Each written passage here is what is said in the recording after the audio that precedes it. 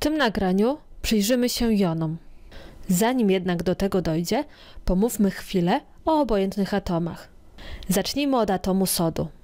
Po przeanalizowaniu położenia atomu sodu w układzie okresowym pierwiastków, wiemy, że jego liczba porządkowa wynosi 11.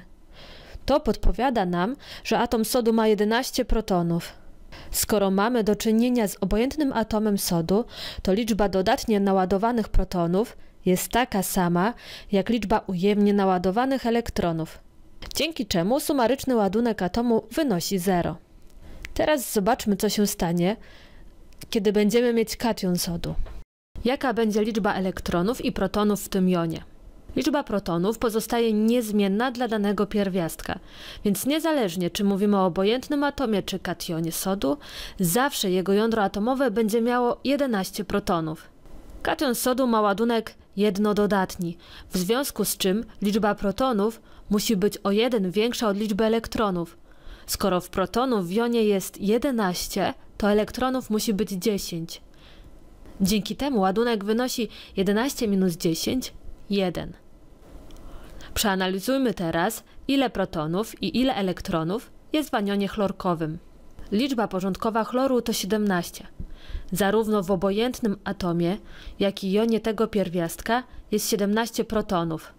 Mamy do czynienia z anionem jednoujemnym, więc w anionie jest o jeden elektron więcej niż w obojętnym atomie. W anionie znajduje się więcej elektronów niż protonów. Jego ładunek wynosi minus 1. Rozwiążmy zadanie o następującej treści. Liczba masowa platyny wynosi 195. Liczba obecnych elektronów to 74. Ile protonów i neutronów jest obecnych w atomie? Jaki jest ładunek jonu? Aby rozwiązać to zadanie, najpierw musimy odczytać z układu okresowego pierwiastków, jaka jest liczba porządkowa platyny. Liczba atomowa, czyli liczba porządkowa, wynosi 78. W atomie platyny jest 78 protonów. Z treści zadania wiemy, że liczba masowa to 195. Liczba masowa jest sumą protonów i neutronów w jądrze atomowym. Jeśli od liczby masowej odejmiesz liczbę porządkową, to otrzymasz liczbę neutronów w jądrze atomowym. 195 odjąć 78 daje nam 117. W jądrze platyny znajduje się 117 neutronów.